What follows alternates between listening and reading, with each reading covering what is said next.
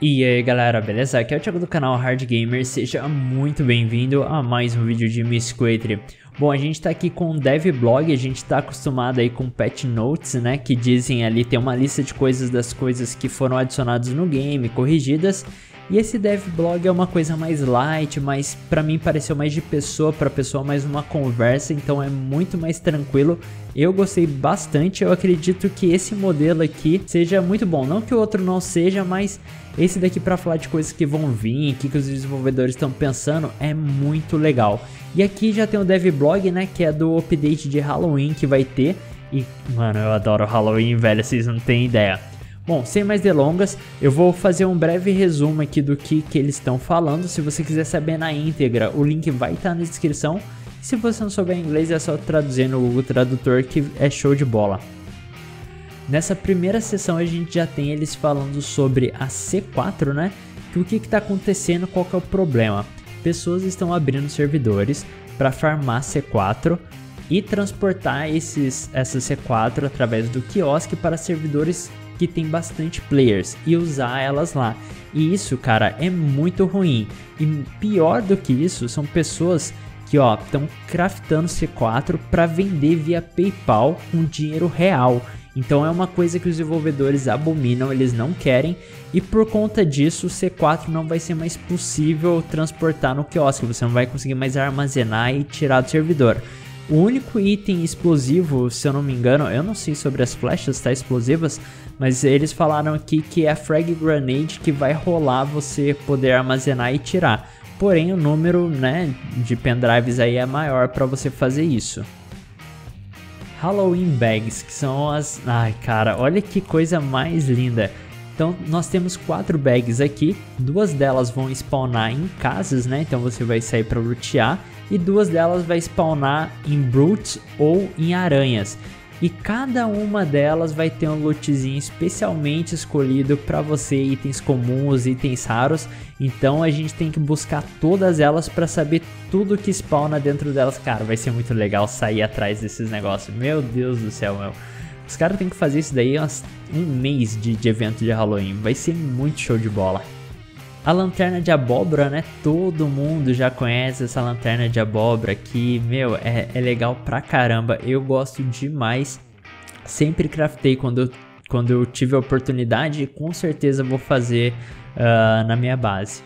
Creepy Bunny Toy, então a gente tem um, um ursinho aqui com os olhos brilhantes que eles até falam assim: Ué, mas por que será que os olhos dele é brilhante? Eu não sei, deve ser por conta da radiação, será? E, velho, eu quero ter tudo isso aqui na minha base. E se a gente tem um ursinho, né? Por que não ter um ursão gigantesco aí? Talvez para você presentear alguém que você ama. Quem quiser me presentear aí, velho, fica à vontade, tá? Não precisa me amar, mas se tiver com um espírito bom aí no coração, eu aceito muito, beleza? E nós temos essa vela Motherfucker de Halloween que tá muito legal. E eles falaram assim: parece decoração de plástico, né? Mas na verdade não é. Então aqui são cabeças humanas, uma mão humana aqui, tudo feito com... Mano, isso aqui é muito show de bola. Meu Deus. Eu não sei se vai rolar esse efeito aqui, ó. Deve rolar, né, cara? Esse efeito de... Mano, meu Deus do céu, cara. Eu tô pirando com, com as coisas de Halloween. E para fechar com chave de ouro, né, os lances de Halloween, nós temos essas luminárias aqui, né, essas luzinhas que tá legal pra caramba. Se você prestar atenção, ela tem uh, olhinho, boquinha, cara. Ah, mano. Ai, velho, esse jogo, velho. Ai. E você acha que acabou? Não. Quem que é esse Pokémon, cara? Eu não sei. Parece que vai ter caixa misteriosa aí com itens misteriosos pra, pra gente achar. Eu não tenho ideia do que seja nenhuma dessas coisas. Eu, realmente não sei o que, é uma dessas coisas. O que eles falam é: se você manter seus olhos e ouvidos atentos e for atrás dessas pistas, disso que você está ouvindo ou vendo, você vai conseguir achar as respostas. Mais ou menos isso. Não, não é isso, mas é isso, entendeu? O que está escrito. Não é isso, mas é isso. Então eu não sei o que, que vai acontecer, que evento que vai ser esse, mas eu tô louco para buscar isso daqui. Com certeza, quando sair esse update, a gente vai fazer live para buscar essas coisas. Agora, saindo um pouco do tema de Halloween, né? Tem o lance de wall placement, que o Hendrix está trabalhando, que é você poder colocar coisas na parede. Então aqui eles deram um exemplo de um quadro, né? Deixa eu até baixar um pouquinho. Eita, bugou tudo. Baixar um pouquinho aqui. Então a gente tem um quadro e com certeza já foi falado aqui que várias outras coisas você vai poder colocar na parede através desse sistema. Roof Snapping, que é o sistema de snapping para telhados, né? Então aqueles não tem nenhuma novidade, não falaram que vão implementar já no próximo update, mas aqui eles estão comentando que eles estão trabalhando nisso, que é para você ficar despreocupado. Mudanças adicionais para a parte de base. O Mef aqui falou que o update de Halloween já está pronto, então com certeza a gente já deve esperar aí para os próximos dias. E agora eles vão estão trabalhando numa solução para as partes de garagem, né? Então tem a, o portão, o portão de metal, eles têm que dar um jeito de arrumar ali para ele encaixar melhor. Então eles estão estão fazendo as mudanças. E nós temos o mapa desértico, né? O mapa do deserto, cara, que vai ser o novo mapa do Miss aí. Vai ser, meu, eu, eu gosto bastante do tema de, de deserto.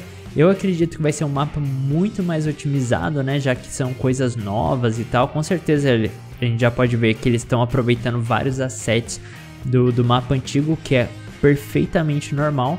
Mas por ser um mapa do deserto, não ter tanta vegetação, vegetação sempre cobre, sempre pega bastante FPS, né? E no deserto não tem tanta vegetação e tal, então acredito que vai ser um mapa mais leve para mais players poderem jogar. E tá sensacional. Olha essa imagem, meu irmão do céu. Olha o tamanho dessa cidadezinha aqui, ó. Puta, nossa, aqui é uma igreja aqui embaixo? Não sei, cara. Parece aquelas casas com garagem. Mas tá muito, mas muito massa. Tem outra imagem aqui, ó, com... Nossa, meu Deus do céu. Meu Deus do céu. Esse mapa aqui tá muito show de bola. Eu gostei bastante. Coloquem nos comentários o que vocês acharam.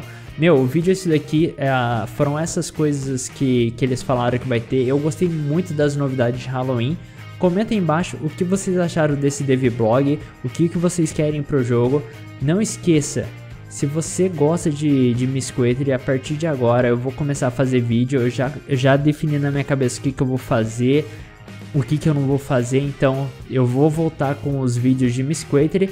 E cara, se você gosta de jogos de sobrevivência, se inscreve no canal. Se você gostou do vídeo, deixa o seu like. E galera, até o próximo vídeo.